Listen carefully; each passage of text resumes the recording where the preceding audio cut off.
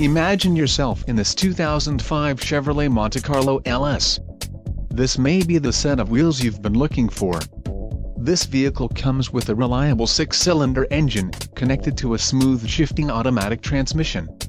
Some of the top features included with this vehicle are axle, 2.86 ratio, front-wheel drive, suspension, four-wheel independent, ride and handling, steering, power, rack and pinion, exhaust, stainless steel, headlamps, halogen, composite, includes automatic exterior lamp control, glass, solar ray light tinted, license plate cover, front, steering column, tilt wheel and oil life monitoring system.